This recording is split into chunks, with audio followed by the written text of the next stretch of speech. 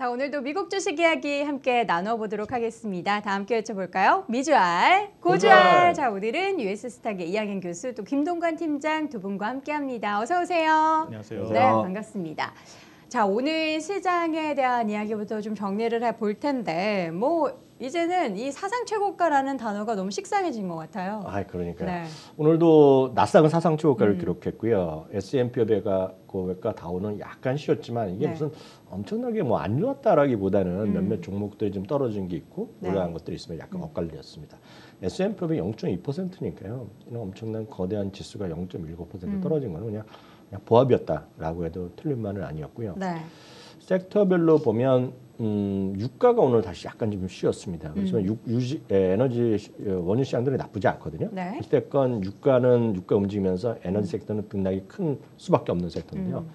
에너지 섹터가 한 2% 정도 내린 것이 특징이 되겠고요. 네. 오늘 큰 틀에서 보면 기술주들이 음. 상대적으로 강했다는 거. 그리고 네. 굳이 따지자면 오늘 페이스북이요. 음. 그리고 넷플릭스 같은 그런 것들이 커뮤니케이션 서비스였는데 네. 이쪽이 오늘 좀 상대적으로 강했습니다. 음. 그러면서 커뮤니케이션 서비스가 상대적으로 강했고 기술주 역시 기술주는 대표적인 것이 애플이 되겠는데요. 그쵸. 애플이 오늘 나름 강보합 이상 올라가면서 음. 오늘 시장을 끌고 간 것이 어, 뭐랄까 시장에서의 하나의 특징이자 음. 시장에서 큰 틀에서의 어, 그림이 일단 먼저 되겠습니다. 네.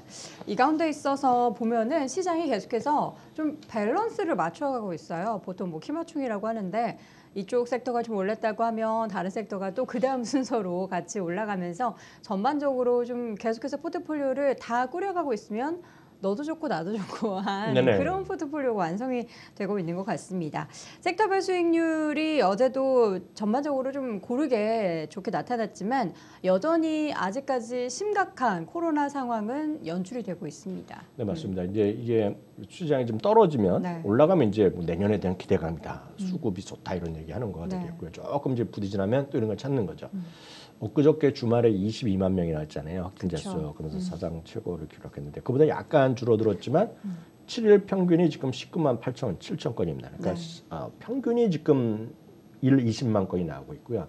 사망자도 무섭지만 7일 평균 입원 환자 수가 10만 명입니다. 그러니까 입원 환자가 10만 명이나 있는 겁니다. 지금 미국에서. 어. 그러니까 그러니까 당연히 주별로 도시별로 보면 그 우리를 보면 중환자실 환자가 입원 환자가 있는 소위 침상이라고 그러죠. 베드가 좀 부족하는 음. 그쵸. 부족한 상황이 나올 수밖에 없고 그러니까 좀 먼 거는 3시간 4시간 또 일부에서는 뭐 헬리콥터 타고 옮겨야 되고 어. 급한 사람들 네. 그만큼 지금 병원도 좀 어, 뭐랄까 좀 부족하다. 이런 얘기를 음. 하고 있고 그러다 보니 코로나라는 것이 단지 최악의 어떤 공중 보건 행사가 아니라 음. 이 나라가 직면하고 있는 아니면 직면하게 될 최악의 사건이다 지금 이런 거죠. 그러니까 네. 무슨 말씀이냐면 지금 현실로 보면 좋은 게 없어요. 현실로 보면 지금 락다운을 계속 확대하고 있죠. 네. 주별로 아니면 도시별로 음. 어, 락다운을 하고 있고 이렇게 확진자 늘어나고 지금 그러니까 유명한 사람들이 계속 나오니까 이슈가 되는 거죠. 예를 들어 우리나라도 그렇잖아요. 그렇죠. 우리나라 이제 뭐 가수, 연예인분들 어저께 음. 청 청하. 아, 청하 친구가 전 몰랐던 확진. 친구인데 저희도 아들 덕분에 네, 알았거든요. 엄청 이렇게 유명한 가수예요. 어, 뭐 바로 몇 달 만에 나오는데 바로 그쵸, 됐다면서요? 그쵸. 예, 그리고 이런 것들이죠. 그러다 보니 미국에서도 지금 트럼프 대통령의 개인 변호사 아, 그 사람도 걸렸거든요. 아. 그러니까 이런 것들이 나오니까 시장에서 이제 걱정이 되는 것들이죠. 음. 그런데 한편에서 그런 것이 되고 또 그 지난주에 했던 얘기했던 이렇게 별로 악재로 반영이 안 됐죠. 음. 고용 보고서가. 음. 그렇지만 고용 사정이 좋으냐? 절대 좋지 않거든요. 네. 에, 이제 고용은 2023년 내지 2024년에 돼야지 팬데믹 이전으로 가는 거고 네. 천만 명의 일자리가 회복이 잘 안 됩니다 지금요. 그리고 될 수가 있는 환경도 아니죠. 네. 그러니까 그만큼 시장에서 내년에 좀 고용 시장 회복되겠지만 완벽한 그런 back to normal은 아니거든요. back to normal은 정상적인 그 수준까지 갈 수는 없기 때문에 안 좋지 안 좋음에도 불구하고 주가가 올라갔기 때문에 조금 주가 좀, 좀 조정 보일 가능성은 쉽게 해서 언제라도 있는 거는 우리가 뭐라 그럴까 좀 인정해야 되겠다. 그래서 한국도 마찬가지고 미국도 마찬가지 그리고 유럽도 마찬가지 중- 지금 전 세계가 다 시장 사상 최고가입니다. 특히 이상한 나라는 있겠지만 전반적으로 다 사상 최고가거든요. 네. 그렇지만 늘 언제라도 조정은 있- 있을 수는 있다. 예를 들어서 약세까지 해서 하락이 아니라 조정. 조정이란 거는 우리가 어, 교과서적으로 보면 10%거든요. 10% 정도 조정은 언제든지 올 수 있다. 그래서 이런 생각하면 우리가 5월, 6월 달만 생각해 보자는 얘기죠. 음. 그때 얼마나 정말 심각했습니까? 우리 시장도 보면 그 바닥 대비 우리나 100% 올라간 거나 마찬가지거든요, 지금요. 그러니까 그런 상황도 있었기 때문에 그 정도까지는 갈 일이 별로 없죠, 지금요. 현실적으로 가능성 별로 없지만 지금 한 10% 정도 조정은 네. 언제 하도 있다. 다만 그걸 대비해서 너무 지금 당장 주식 팔고 줄이고 이럴 게 아니라 그런 마음가짐만 늘, 늘 말씀 좀. 여유롭게 갖고 가자 이렇게 말씀드릴 수 있겠네요. 지금 우리가 뭐 심각한 코로나 상황이 미국, 유럽 그리고 우리나라 같은 경우에도 계속해서 5, 600명대의 확진자 수가 늘어나고 있는 상황인데 그 때문에 일부 지역 같은 경우에는 봉쇄령이 내려지고 있습니다. 이런 것들이 좀 그래도 해결되기 위해서는 백신의 보급이 빨리 그리고 효과가 제대로 좀 발현이 돼야 하는데 보니까 트럼프 대통령이 미국 국민들을 우선적으로 좀 백신 접종하게 관련해서 회의를 좀 했다고 하더라고요. 백신은 네. 어떻게 좀 진행되고 있습니까? 백신은 이제 그 빠르면 이번 주부터 이제 파이자가 해서 그 뭐라 접종이 시작될 것 같아요 네네. 미국에서도요. 유럽 영국은 시작됐잖아요. 그리고 이제 모더나 같은 경우에서도 승인이 12월 17일 얘기 나오고 있고 지금 캐나다에서도 모더나 기존 계약을 두 배로 늘렸다는 거거든요. 네. 그래서 그런 관련지도 올라가는데 이건 뭐 늘상 있는 일이니까 그냥 넘어가시면 되겠고요. 백신과 치료제는 분명히 같이 나올 거다. 그렇지만 당장 모든 사람이 많이 하는 것도 아니고 많은 사람이 다 맞을 것도 아니기 때문에 앞으로 상당 기간 어 그게 뭐 내년 말까지 가지는 않겠으나 지금 이런 거에 우려의 목소리는 분명히 있다라고 보셔야 되겠고요. 관련해서 미국 주시장에 대해서 이런 상황을 어떻게 봐야 되는지에 음. 대해서 어, 두세 개만 말씀드리겠습니다. 네네. 미리 말씀드리지만 주시장은 왜 거래가 되겠습니까? 제가 약간 철학적인 말씀드리면 주시장이 거래되는 이유는 다들 다른 생각을 하기 때문에 그래요. 셀트리온은 셀트리온, 삼성전자도 그만큼 사는 사람이 있으면 그만큼 팔기 때문에 되기. 때문에 음. 다양한 의견이 있다는 거. 그래서. 지금도 시장 좋지만 일부에서는 내년에 주시장 70% 떨어진다는 의견도 있습니다. 음. 예, 그런 의견이 있어요. 찾아보시면 금방 찾을 수 있거든요. 그래서 나쁜 의견도 있지만 전반적으로 제가 드릴 수 있는 말씀은 제가 좀 공유해 드릴 수 있는 것들은 내년도 상당히 올해보다 괜찮을 거다. 가장 큰 이유는 두 가지라고 일단 먼저 보시면 되겠는데요. 네. 누가 말해도 똑같습니다. 한국도 그대로 적용되는데요. 두 가지인데요. 한국도 마찬가지, 미국도 마찬가지, 전 세계 이머징 마켓 할 것 없이 올해 대비 한 25에서 30%씩 이익이 늘어납니다. 이익이. 전 세계 똑같다고 보시면 돼요. 그건 올해 대비해서 올해 그죠? 대비죠. 예. 근데 올해가 워낙. 떨어졌잖아요. 음. 특히 이머징 마켓은 보통 한 20% 정도 이익이 줄어들었거든요. 25%. 음. 그렇기 때문에 올해 대비 내년에 이익 좋고요. 또 하나는 아주 큰 틀에서 보면 돈이 주식에서 워낙 2018년, 19년부터 올해 워낙 많이 빠졌기 때문에 들어온 건 두 달입니다. 두 달. 네. 빠진 것이 들어오는 거죠. 음. 예를 들어서 미국만 보면 4조 5천억 달러가 캐시가 캐시가 쌓여 있는데 지금 많이 조금 주식을 갔다고 하지만 음. 여전히 2조 달러 정도 더 와야 돼요 주식으로. 그러니까 현금 쌓여 있는 게 2조 달러가 그만큼 늘어난 겁니다 지금. 팬데믹 이전 대비. 그래서 그게 더 올 수 있는 거죠 지금. 네. 그래서 그 정도가 한국, 미국 다 똑같다 먼저 말씀드리겠고요. 블랙락은 세계 최고의 어, 운영 자산, 자산 운영 회사인데요. 네. 큰 틀에서 보면 미국을 미국 주식을 중립으로 봐서거든요. 최근에 어, 비중 확대로 올려놨습니다. 가장 큰 것들은 역시 내년에 크게 이익이 개선된다, 경기가 회복된다는 얘기를 하고 있고요. 전체적으로 보면 경기 순환주, 경기 민감주라고 얘기하는데요. 주택, 자동차, 소재주를 얘기하고 있고요. 어, 테마나 이런 쪽 보면 클라우드, 온라인 광고, 디지털 경제, 반도체 이런 쪽에 좀 보시라 이런 쪽을 얘기를 하고 있습니다.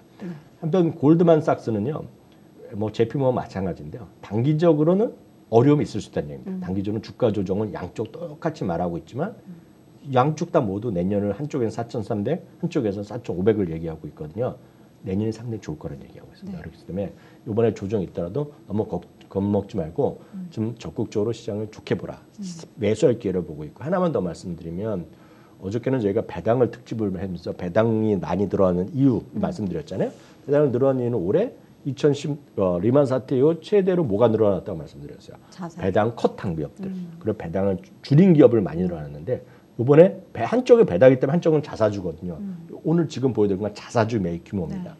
EBIT라는 건 뭐냐면요. 약간 어려운 얘기지만 earning before interest and tax입니다.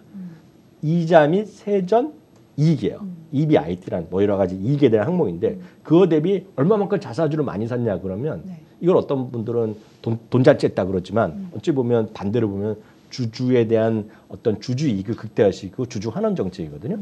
2018년, 19년에 이게 거의 80% 갔습니다. 그러니까 엄청나게 전- 돈 장치를 했다라고 비판할 수도 있는 건데 네. 올해 얼마나 떨어지는지 보시죠. 올해 떨어진 수준이 45% 수준까지 떨어졌거든요. 이게 리만 사태 이후 거의 최저 수준까지 떨어졌어요. 이거 왜 그래요? 어제도 말씀드렸다시피 항공, 운행, 보잉이나 수많은 미국에서 자금을 지어바른 기업들은 한결같이 너희들 자사주 하지 말고 배당하지 말라 그랬거든요. 그래서 늘어난 거거든요.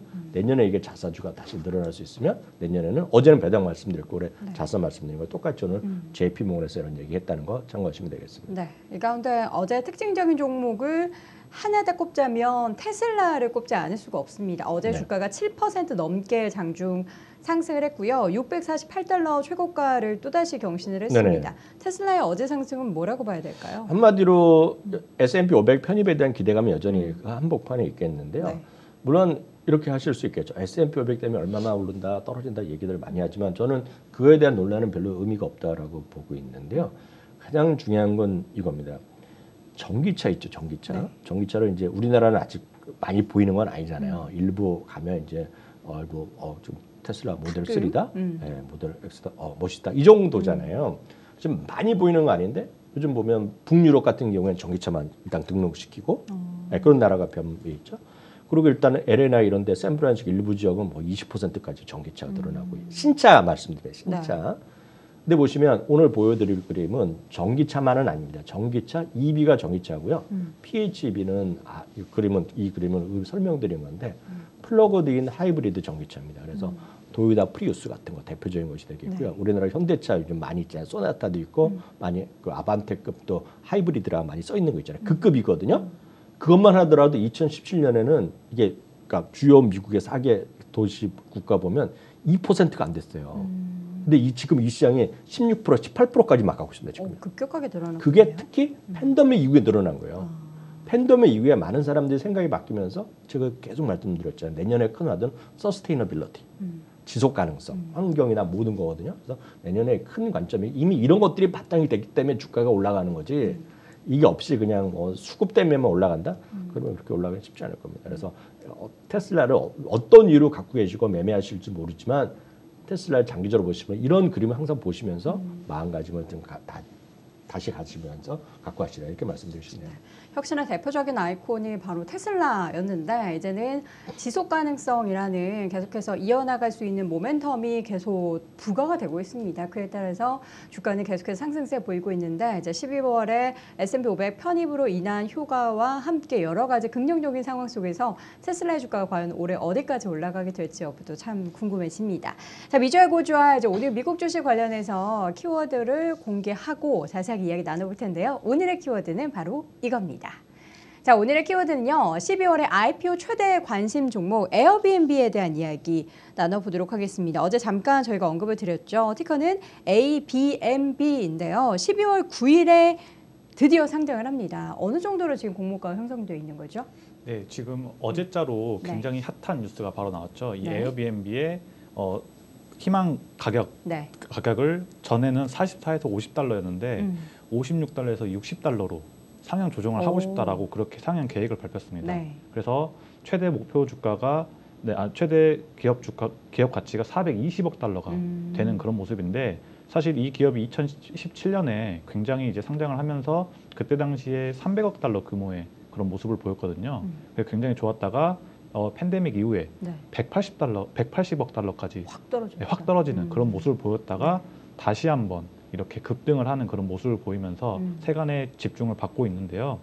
지금 세계 최대 호텔 체인 메리엇 아시잖아요. 네. 메리엇 호텔 같은 경우만 하더라도 지금 시가총액이 429억 달러니까 오, 그럼 얼마나- 차이가 안 나네요. 네, 얼마나 큰 규모의 네, IPO가 만약에 형성이 될 수 있을지 진짜 집중을 해보시면 좋을 것 같고요. 네. 지금 올해만 하더라도 미국의 기업 공개한 기업 그런 기업의 기업에 어, 1,400억 달러가 조달이 됐는데 총 규모가요? 네, 총 어. 규모가. 근데 이 규모가 네, 닷컴 버블 기간보다도 더 큰 모습이기 때문에 저희가 2020년 한 해에만 하더라도 정말 많은 기업들이 IPO를 했다라고 네. 보시면 되겠고 어, 또 하나는 지금 아틀란틱 뭐 에퀴티라고 하는 곳에서 음. 이 ABNB 목표 주가를 75달러를 조정하는 그런 모습을 보였기 때문에 음. 어, 이 아마 상장을 하게 되면 정말 많은 매수세가 이어지지 않을까 그렇게 전망이 되고 있습니다. 네. 이 가운데 있어서 에어비앤비에 대한 뭔가 view를 좀 확인해 봐야겠는데 스콧 갤러웨이 이분은 누구시죠? 네, 이 스콧 갤러웨이라고 하면은 뉴욕대 경영대학원 특히나 이 마케팅 교수님이신데요. 음. 또 뉴, 뉴욕대 하면 또 유명하신 분이 있잖아요. 이 가, 어, valuation의 달인 다모다란 교수님이라고 음. 하셔서 한때 이 애플을 전량 매도하라라고 하는 그런 또 모습을 들이면서 네. 굉장히 같이 어, 이분과는 전혀 다른 상반된 모습을 보이고 있는데요. 이 스콧 갤러웨이 교수님 같은 경우에는 뭐 The Four, 뭐 Talk to Me라고 하는 이런 책의 베스트셀러의 저자이기도 한데 음. 이 책이 구글이나 아마존, 애플 같은 그런 big tech 기업들의 생태계를 굉장히 긍정적으로 바라보고 음. 파괴적 혁신을 일으킬 것이다라고 하는 그런 어, 생각을 가지고 있는 음. 그런 모, 그런 모습인데 이번에 에어비앤비에 관련해서도 이 수식어를 제가 적어놨는데 네. 갱스터다. 뭐 미국에서 가장 가치 있는 민간 기업이다. 음. 2021년에 세계에서 가장 가치 있는 서비스 회사가 될 것이다. 음. 뭐 세계 10대 브랜드 중 하나가 될 것이다라고 이렇게 엄청난 수식어를 붙여줬는데 네. 어, 어떠한 얘기를 했는지 하나하나 보시면 굉장히 음. 재밌을 것 같습니다. 네. 사실 에어비앤비 같은 경우에는 직접 이용을 해 본 사람과 그러지 않은 사람의 이해도의 차이가 좀 날 것 같아요. 우리나라 같은 경우에는 에어비앤비가 처음 소개될 때 이제 개인적으로 제가 굉장히 인상 깊게 기억이 했던 게 지드래곤이 그 네. 에어비앤비 같이 콜라보를 해서 이제 네. 실제 집에 이제 초대를 하고 뭐 이런 것들을 해서 제가 기억이 굉장히 많이 남는데 저는 에어비앤비를 이용해 본 적이 없거든요. 두 분은 어떻게 이용해 보셨어요? 저는 엄청 많이 이용했죠. 아 그러세요? 예, 에어비앤비가 네. 저는 편해요. 편하고 좋고 음. 물론 이제 그럴 때가 있죠. 어떨 때는 호텔에서 모든 걸 갖추면서 그쵸. 갈 때가 있, 을 때도 네네. 있고 어떨 때 보면 뭔가 좀 편안하게 음. 나만의 공간을 찾을 때가 있죠. 네. 그게 바로 또 에어비앤비가 되겠죠. 그, 팀장님은 어떻게 이용해 보셨어요? 네, 저도 자주 이용하고요. 어. 특히나 이제 뭔가 이벤트, 예를 들어서 이번 크리스마스만 음. 하더라도 일반 호텔은 재미가 없잖아요. 네.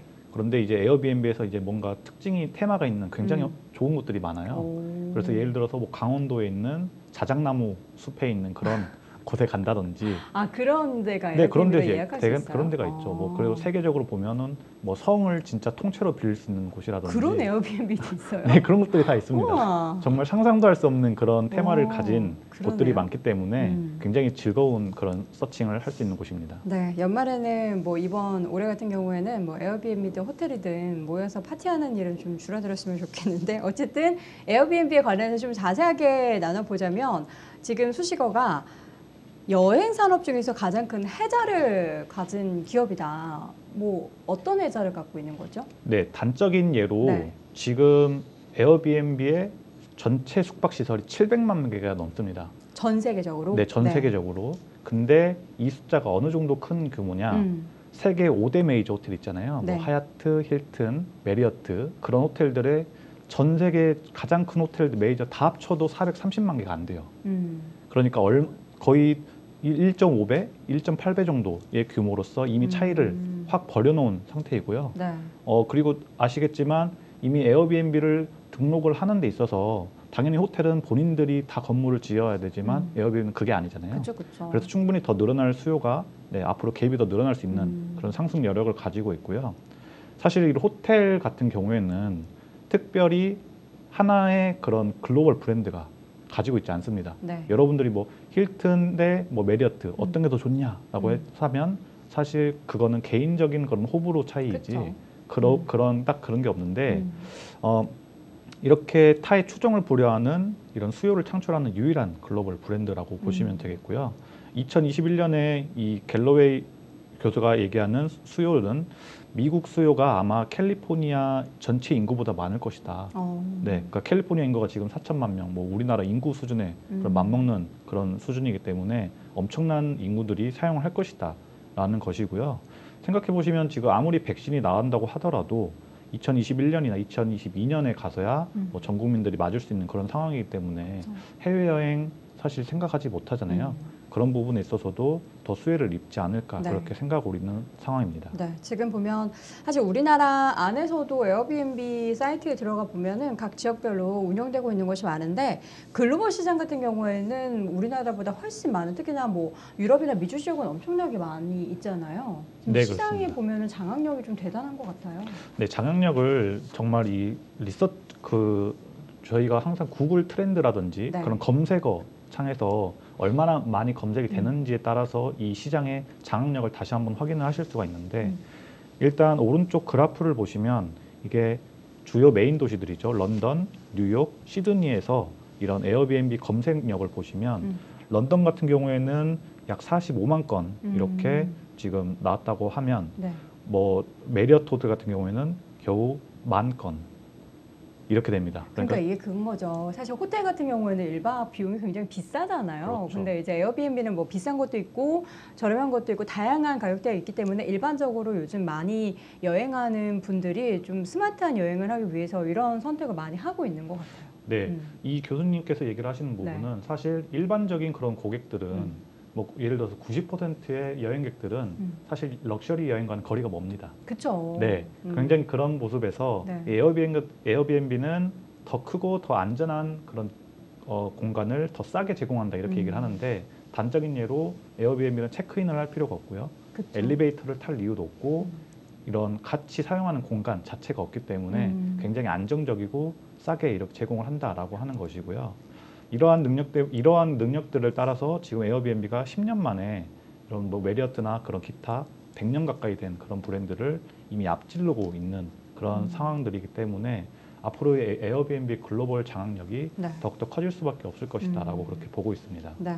이 가운데 저희가 이제 파괴적 혁신이라는 키워드 자주 소개해 드렸는데 이 에어비앤비도 여기에 좀 포함되고 있는 상황이라면서요. 네, 이 수치를 들으시면 네. 굉장히 놀라실 텐데요. 어떤 수치죠? 사실 에어비앤비를 어떤 기업이라고 이렇게 단정 지을 수가 없는 게 호텔 사업이라고 하기도 그렇고 그리고 서비스형 소프트웨어 사업이라 하기도 그렇고 음. 굉장히 애매모호한데 이분은 이렇게 얘기를 했습니다. 네. 파괴적 혁신을 가진 tech 기업이다. tech 기업. 네네라고 음. 했는데 오른쪽 이 표를 보시면 네. 이게 지금 전체 어, 자, 회사의 어, 이 직원 중에 몇, 몇 퍼센트가 음. 네, 이런 tech 임- 아니면 IT 기반을 가진 직원들의 비중이냐라고 음. 물어보는 건데 구글이 31%고요. 네. 그리고 넷플릭스가 23%, 음. 그리고 3위가 바로 에어비앤비입니다. 음.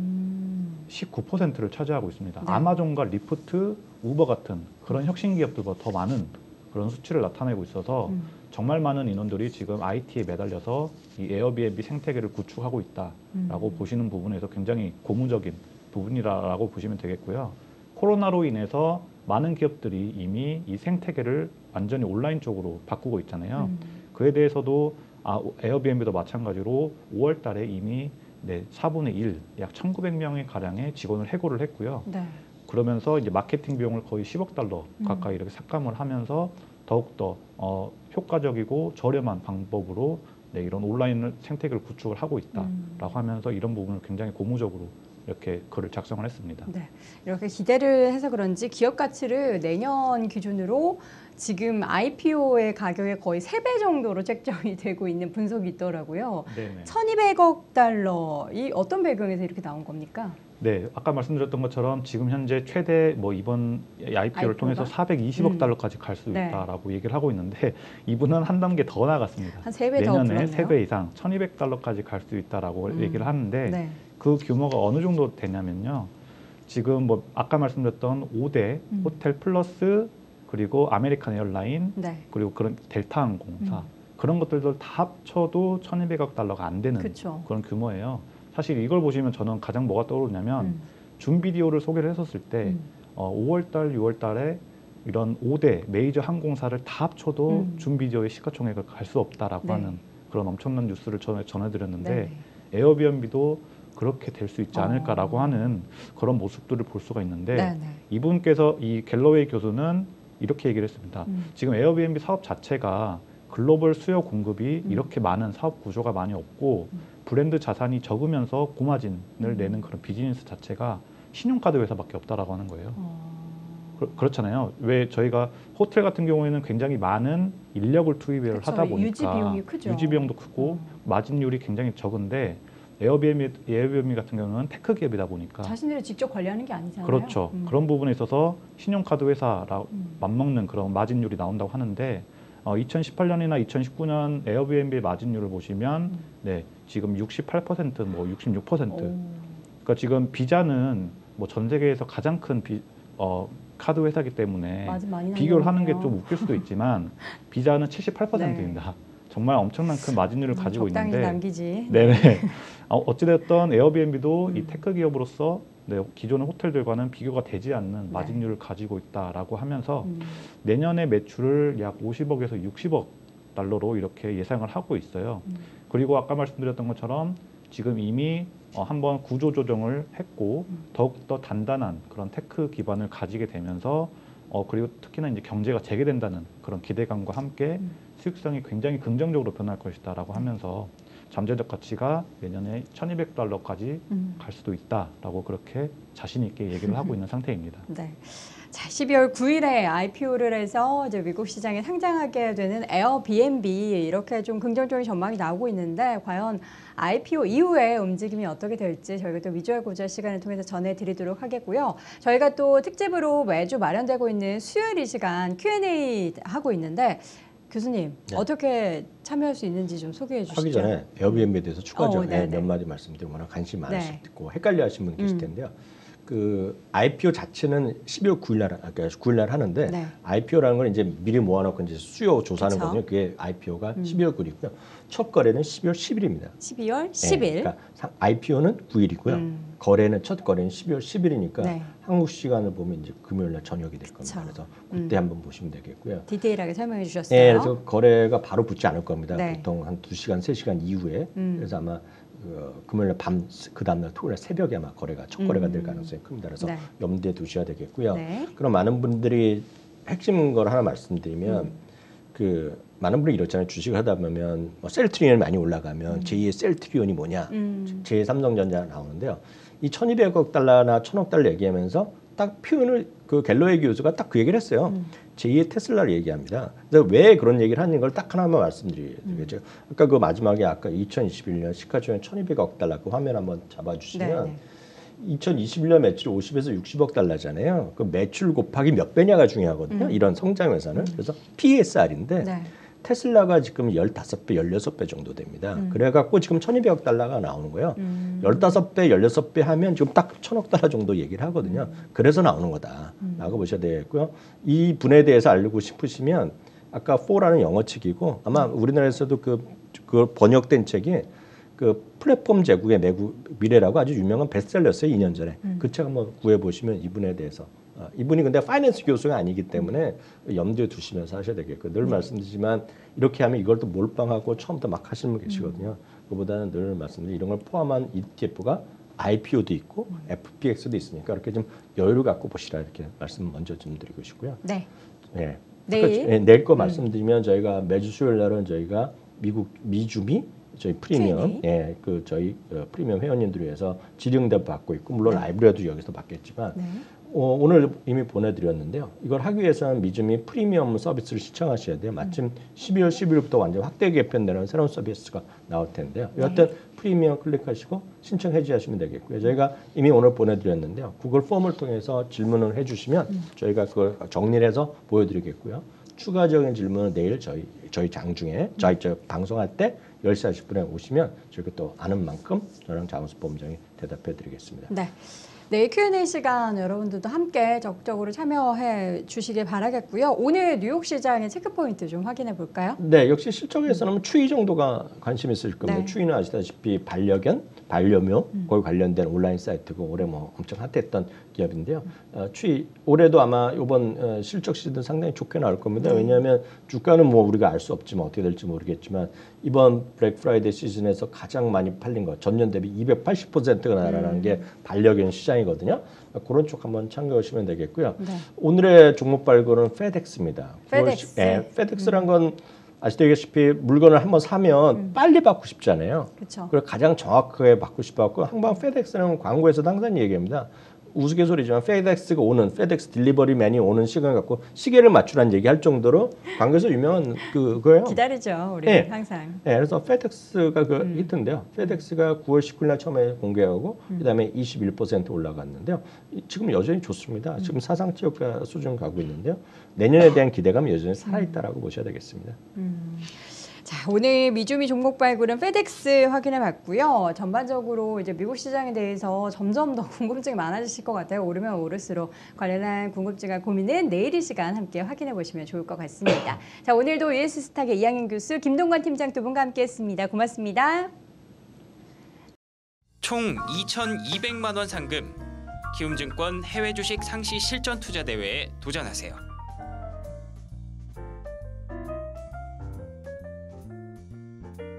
투자 시 원금 손실에 유의하세요.